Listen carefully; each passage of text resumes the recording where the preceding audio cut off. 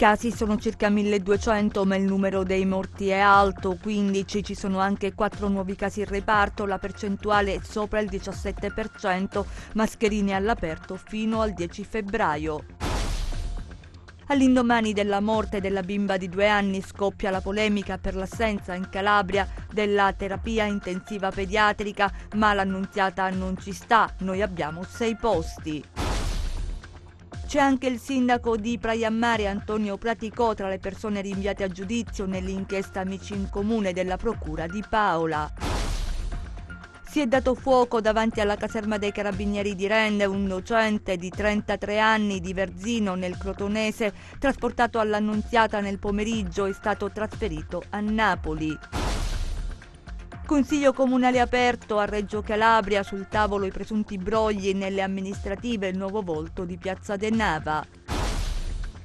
Chiusa alle 20 la sessione invernale del calciomercato, il Cosenza acquista tanti calciatori, buono il mercato del Crotone e della Regina. Ben ritrovati in nuova edizione del nostro TG, il Covid ancora in primo piano, resta alto il numero dei morti in Calabria, oggi se ne registrano ben 15, il contagio corre, ospiti e operatori di una casa di riposo a Roseto Capospulico risultano tutti contagiati anche se asintomatici, intanto il Consiglio dei Ministri ha prorogato l'obbligo di indossare le mascherine all'aperto anche in zona bianca per altri dieci giorni. Vediamo il servizio. Resta alto il numero dei decessi, 15 quelli registrati nelle ultime 24 ore nella nostra regione che vanno aggiunti agli 11 di ieri, tra cui la piccola Ginevra stroncata dal Covid a soli due anni. Diminuiscono i contagi che si fermano a 1195 con meno tamponi effettuati, 6847, come sempre accade in coincidenza con il fine settimana. Il tasso di positività sale al 17,45 45%. Il virus continua ad essere presente in Calabria, in una struttura per anziani a Roseto Capospulico, nel Cosentino, contagiati sia gli operatori che gli ospiti. Le positività riscontrate nel corso di uno screening aziendale interno dopo che era stata riscontrata la positività di un operatore. Tutti i contagiati avrebbero completato il ciclo delle vaccinazioni con le tre dosi e sarebbero tutti asintomatici. Intanto saranno prorogate per altri dieci giorni l'obbligo di mascherine all'aperto e la chiusura delle discoteche, l'intesa raggiunta in Consiglio dei Ministri. Infine domani entreranno in vigore le altre misure. Sarà necessario il Green Pass per entrare in uffici e negozi, esclusi alimentari e farmacie, nonché le multe agli over 50 non vaccinati. Sarà l'Agenzia delle Entrate ad avviare i controlli incrociati tra anagrafe vaccinale, sistema tessera sanitaria ed elenco dei residenti per erogare le prime multe. E lo abbiamo visto in aumento i decessi in Calabria nell'ultimo periodo, numeri più elevati rispetto alle ondate Covid precedenti. La curva decresce in ritardo rispetto a quella dei contagi che ha già toccato il suo picco. Vediamo. 83 decessi negli ultimi 7 giorni in Calabria, mai così tanti. In totale da inizio pandemia sono morte 1872 persone, 807 in provincia di Cosenza, 561 nell'area di Reggio Calabria, 196 nel Catanzarese, 157 in provincia di Crotone e 141 nel Vibonese. Anche nel bollettino emesso ieri dalla Regione il dato sui decessi è stato elevato, ben 11, 18 invece 48 ore prima nel bollettino del 28 gennaio, il record più triste per la nostra Regione. Per avere un'idea dell'incremento dei decessi nell'ultimo periodo, basta confrontare i dati relativi al mese di gennaio 2021 con quelli degli ultimi 30 giorni. Un anno fa persero la vita 109 persone, mentre quest'anno si contano 247 vittime nello stesso lasso di tempo. Perché, nonostante la stragrande maggioranza dei calabresi abbia ricevuto la somministrazione del vaccino e i passi avanti nelle terapie, di Covid si muove di più? Il dato si spiega con la veloce diffusione del virus che, complice la maggiore contagiosità delle varianti in circolazione e la minore presenza di restrizioni, ha portato più di 40.000 calabresi a infettarsi. Tanti sono gli attualmente positivi. Nel 2021 erano poco meno di 9.000. I decessi di questi giorni sono la conseguenza del picco di contagi rilevato nell'ultimo mese. La curva, in questo caso, scende a rilento perché tra il contagio e l'evento tragico trascorrono in media 15 giorni. Ultima annotazione, dai reparti di malattie infettive delle terapie intensive calabresi riferiscono che nella maggior parte dei casi i pazienti che non superano il Covid non sono vaccinati. E all'indomani del decesso della piccola Ginevra, la bimba di due anni di Mesoraca, morta a causa del Covid, il Presidente della Regione tra l'altro ha fatto sapere eh, che il Dipartimento della Salute ha avviato un'indagine per chiarire che cosa è accaduto. C'è la polemica che riguarda i posti di terapia intensiva pediatrica in Calabria. Dall'annunziata si precisa precisa, qui ci sono sei posti letto. Vediamo. La tragica morte della bimba di Mesoraca scuote la Calabria. Il primo passaggio da capire è il perché del trasferimento da Catanzaro a Roma. Dato che le condizioni erano estreme, hanno ritenuto i colleghi di eh, portarla all'ospedale Bambin Gesù di Roma perché è l'unico ospedale che è in grado di effettuare la ventilazione in ECMO, che è una ventilazione extracorporea che in tutto il centro-sud viene effettuata solo all'ospedale Bambin Gesù. In queste ore la polemica sulla terapia intensiva pediatrica assente in Calabria, ma a correggere il tiro è il dottor Gianfranco Scarpelli che precisa ci sono sei posti di terapia intensiva all'annunziata di Cosenza. Posti che sono uh, utilizzati allora quando c'è un'esigenza di terapia intensiva nell'età pediatrica. Noi nel 2021 abbiamo ha avuto 38 ricoveri in questi posti di terapia intensiva pediatrica e che eh, con ottimi risultati. L'ultimo caso che abbiamo avuto di sei mesi che abbiamo trattato, stabilizzato, iniziato la terapia con gli anticorpi monoclonali e gli antivirali e quando abbiamo visto che probabilmente c'era la necessità della ventilazione in ECMO l'abbiamo trasferita a Bambino Gesù e la bambina è tornata a casa proprio la settimana scorsa. Inutili allarmismi, lo avete sentito, è lo stesso a spiegare il perché in altri ospedali non è presente la TIN. La Regione Calabria ha eh, un fabbisogno di posti di terapia intensiva pediatrica tra i 6 e gli 8 e nel decreto 89 del 2017 è stata prevista l'allocazione di questi posti nell'agenda ospedaliera di Cosenza. Certamente non si possono prevedere altri posti letto di terapia intensiva pediatrica in altre, in altre strutture ospedaliere, sia perché sono antieconomiche e sia perché è difficile acquisire le competenze specifiche.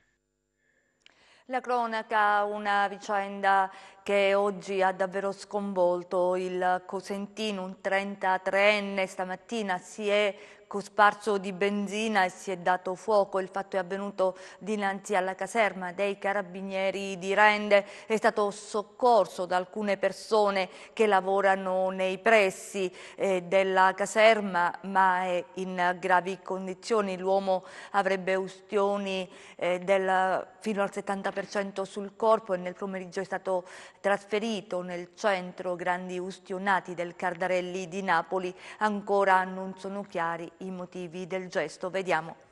Un drammatico gesto che non ha al momento una motivazione. Un 33enne cosentino stamattina è arrivato con un'auto che risulta intestata ad una donna davanti alla caserma dei carabinieri di Rende e, presa una tanica che aveva portato con sé, si è cosparso di benzina e si è dato fuoco. Una scena raccapricciante, dicono i testimoni oculari, tra cui alcuni gommisti che lo hanno soccorso utilizzando gli estintori del loro negozio. Sì, stamattina mattina abbiamo visto una scena bruttissima, preferivamo non vederla. È una scena che raccontare proprio... Abbiamo visto quest'uomo che è sceso dalla, dalla, macchina con questa tanica di benzina, mai pensando che avrebbe, fosse arrivato a, a questo folle gesto.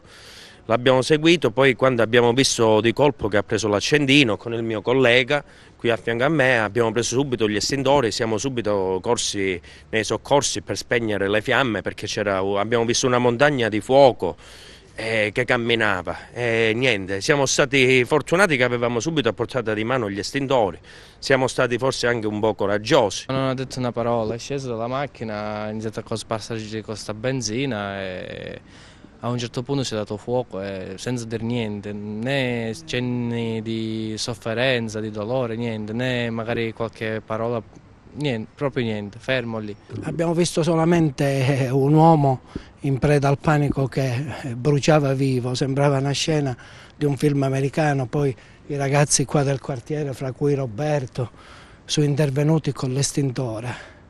Però la cosa veramente che mi ha lasciato sconvolto è vedere un uomo ardere vivo senza dire un'imprecazione, niente.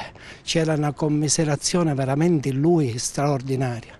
Penso che questo sia un frutto di un disagio che alberga dappertutto. L'uomo incensurato lavora in Lombardia come docente ed era da poco rientrato in Calabria. Ha riportato ustioni gravi su oltre il 70% del corpo. Deciso il suo trasferimento nel centro Grandi Ustionati di Napoli.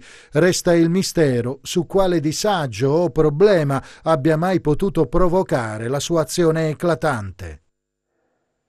C'è anche il sindaco di Praia tra le persone rinviate a giudizio nell'ambito dell'inchiesta Amici in Comune dalla Procura di Paola. Vediamo. Rinvio a giudizio per tutti gli indagati dell'inchiesta Amici in Comune lo ha deciso il giudice per le udienze preliminari del Tribunale di Paola. L'operazione della Guardia di Finanza di Scalea scattata il 13 maggio scorso, coordinata dalla Procura della Repubblica di Paola, avrebbe fatto emergere l'esistenza di un sistema illecito in cui funzionari pubblici gestivano bandi e concorsi per favorire professionisti e imprenditori amici. Gli indagati accusati a vario titolo di reati di turbata libertà degli incanti, turbata libertà del procedimento di scelta del contraente, rivelazione di segreto d'ufficio e falso ideologico in atto pubblico. In particolare i finanzieri attenzionarono nove procedure di gara relative al periodo 2019-2021. A processo andranno tra gli altri il sindaco di Praiammare Praticò e l'ex sindaco di Tortora Ramboglia. La Galleria Santo Marco verrà raddoppiata, Rete Ferroviaria Italiana ha presentato il progetto, l'intervento è già finanziato con risorse che, vanno, eh, che hanno una, una, una cifra che va oltre il miliardo di euro dal Fondo Nazionale Complementare. Vediamo. Più volte negli anni si sono verificati problemi all'interno della Galleria Santo Marco tra Paola e Cosenza. Un collo di bottiglia rappresentato proprio dalla galleria singolo binario lunga circa 17 km. Adesso però c'è il via libera al raddoppio. RFI ha presentato il progetto e dentro il secondo semestre del 2022 è previsto l'avvio della gara d'appalto per la realizzazione dell'opera. Una notizia accolta con soddisfazione da Graziano Di Natale, già segretario questore del Consiglio regionale della Calabria Calabria e attuale consigliere comunale di Paola. Un nuovo percorso capace di accorciare le distanze, un progetto moderno che prevede un investimento di 1,2 miliardi di euro attraverso l'utilizzo del Fondo Nazionale Complementare. Un progetto che eh, prevede la costruzione appunto di un percorso che si estende per circa 22 km, di cui 17 eh, in sotterranea. Questo è di tantissime battaglie portate avanti lo scorso anno da tanti amministratori pubblici, da tanti sindaci, ma soprattutto da tanti cittadini liberi. Il Consiglio Comunale di Reggio Calabria ha discusso su due temi molto caldi e molto sentiti dalla città metropolitana. Si tratta dei presunti brogli nelle amministrative e del nuovo volto di Piazza De Nava. Vediamo. La prima attesa seduta aperta del Consiglio Comunale di Reggio Calabria di questa consigliatura sui presunti brogli alle comunali 2020 e il rifacimento di Piazza De Nava ha avuto luogo davanti a una trentina di presenti, meno dei consiglieri. 15 interventi, alcuni di, questi, di, queste persone intervengono su due argomenti, quindi la partecipazione c'è, l'aula è diciamo, uno dei luoghi più sicuri che abbiamo, per questo si è pensato di farlo appunto qui. In apertura, una dozzina dei presenti ha polemicamente abbandonato l'aula. Vari politici, dall'ex consigliere Beniamino Scarfone al presidente di Reggio Futura, Italo Palmara, e Francesca Stilitano del Codacons, hanno dichiarato intollerabili i mancati accessi per le misure anti-Covid, ma hanno pure contestato gli spazi ristretti di Palazzo San Giorgio e i sette mesi che ci sono voluti per convocare la seduta, fattori che avrebbero menomato la partecipazione. In questo senso si sono espressi pure consiglieri comunali di centrodestra come Demetrio Marino di Fratelli d'Italia, il capogruppo forzista Federico Milia e soprattutto Massimo Ripepi di Coraggio Italia che ha platealmente strappato in aula il codice etico a suo tempo firmato dal sindaco Giuseppe Falcomatà per dare una proiezione plastica delle sue ripetute violazioni e della ritenuta scarsa trasparenza. Gli inquirenti hanno chiesto prima un supplemento di indagine di sei mesi, successivamente ha chiesto un altro supplemento di indagini e quindi sicuramente ne vedremo delle belle. Stiamo proponendo una commissione di indagine amministrativa perché non si verificano più quelle situazioni spiacevoli che si sono verificate. I rappresentanti di varie associazioni culturali hanno poi esposto la contrarietà alla demolizione di un luogo centralissimo e storico, Piazza De Nava, giusto di fronte al museo. Sul tema Forza Italia e Reggio Attiva hanno avanzato un ordine del giorno affinché sia impedito ogni intervento di trasformazione o modificazione radicale della piazza. A Cosenza adesso perché con l'apertura della Porta Santa hanno preso il via le solenni celebrazioni per un compleanno importante, sono gli 800 anni del Duomo di Cosenza. La cattedrale sarà elevata a Basilica Minore, presente per l'occasione anche il Nunzio Apostolico. Vediamo.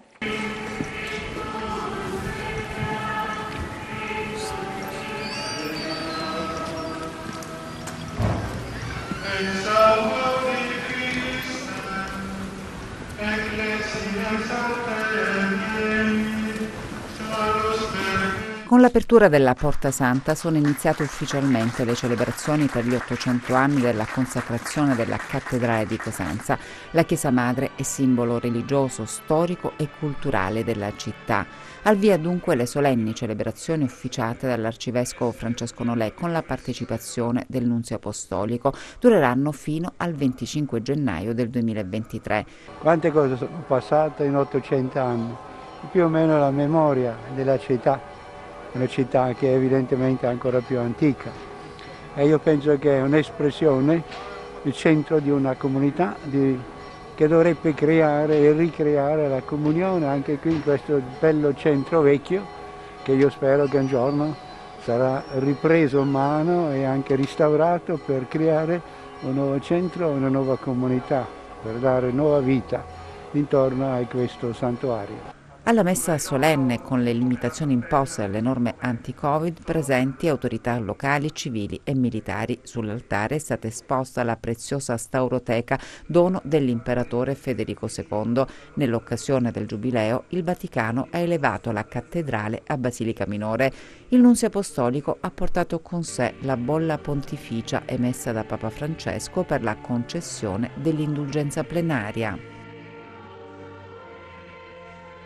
Siamo allo sport, si è chiusa alle 20 la sessione invernale del calciomercato. Il Cosenza acquista tanti calciatori, buono il mercato anche per Crotone e Regina. Noi siamo collegati in diretta da Milano con la redazione del dot.it. Vediamo. Grazie, grazie Rosalba per la linea, è stata una diretta lunghissima, una lunghissima maratona, ringraziamo tutta la redazione del DOT, ovviamente Tenne, faccio un brevissimo riepilogo delle operazioni per quel che riguarda le squadre calabrese, il Cosenza acquistato quindi nella, eh, come riepilogo definitivo Riston, Tondolo, Liotti, Sarro, Di Passi, Camporese e Boca. Eh, per quel che riguarda le cessioni Caratti, Franco, Sueva, Corsi, Minelli e Del. Eh, per quel che riguarda Laura, eh, si era parlato di un acquisto del calciatore francese, mancherebbe un documento ma c'è tempo fino a mezzanotte, anche per la Rivei, ovviamente essendo svincolato l'operazione potrebbe concludersi anche nelle giornate successive a quella di, di stasera. Poi per quel che riguarda il Crotone, gli acquisti sono quelli di Calafai, Aura, Swag, Serpecone, Barras, Cangiano e Adecagne, la cessione di Molina, Donzà, Nellato, Venali, Roger, Soddei e Iacuti. Per che riguarda la regina, anche gli acquisti sono quelli importanti di Aia, Cupis, Coloruccio, Giraudo e Lombardi, che è arrivato l'ultimo acquisto quasi sul filo di lana, poi gestioni, quelle di Casici, Rechichi, Diotti, Loparo, Ricci, Faraoni e i camion. Questi sono tutti i movimenti, eh, ringrazio, ringrazio te, ringrazio tutti, è stata una grandissima esperienza, abbiamo provato anche a contattare il DF Goretti ma eh, è stato un, un brevissimo intervento ma ha rimandato poi alla conferenza stampa che verrà sicuramente fatta alla fine del mercato. Grazie a tutti. E grazie alla redazione del dot.it per questo collegamento, in particolare ad Andrea Orlando che avete visto e Pier Giorgio Giorno e per il lavoro che hanno svolto con i collegamenti nella lunga maratona pomeridiana condotta eh, dalla collega Anna Franchino. E noi chiudiamo con le altre notizie, quelle della borsa.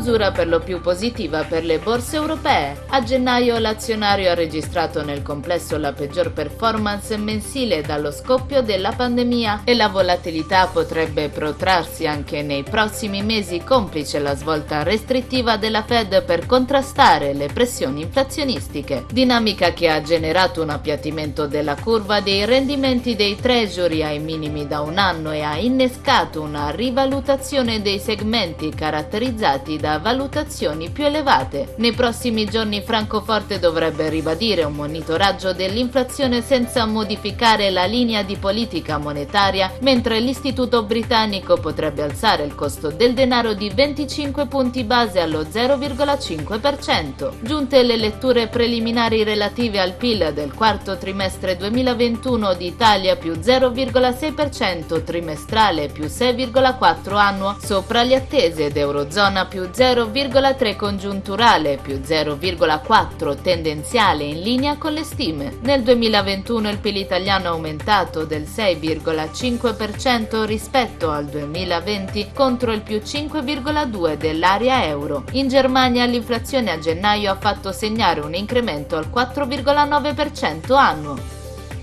Così il FUZMIB di Milano archivia gli scambi in progresso dello 0,9% sostenuto in parte dalla rielezione di Mattarella e dai dati positivi sul PIL domestico. Ben intonati anche il DAX di Francoforte più 1% e il CAC 40 di Parigi più 0,5%, poco mossi il FUZI 100 di Londra flat e l'Ibex 35 di Madrid meno 0,3%. A Wall Street il Dow Jones è sostanzialmente invariato, lo S&P 500 guadagna lo 0,7 e il Nasdaq viaggia in rialzo del 2%.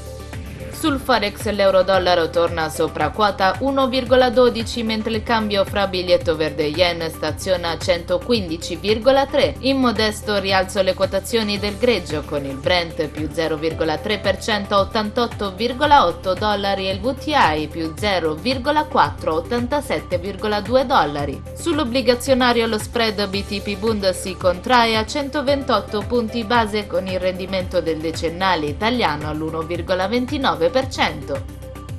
Tornando a Piazza Affari, tra le big cap avanzano soprattutto Amplifon più 4,6, Poste Italiane più 3,95% e Prismian più 3,7%, mentre crolla Saipem meno 30,2%. Dopo aver ritirato la guidance e avvisato che il bilancio 2021 si chiuderà con una perdita per oltre un terzo del capitale sociale. In calo anche l'azionista Eni meno 2%, oltre a Leonardo meno 1,2%. Grazie e buon proseguimento di serata. Non ci sono aggiornamenti, ci fermiamo qui, grazie per essere stati con noi, grazie a regia, a Michele Cava, immessi in onda a Giuseppe Costanzo e Luca Guercio, noi vi auguriamo un buon proseguimento.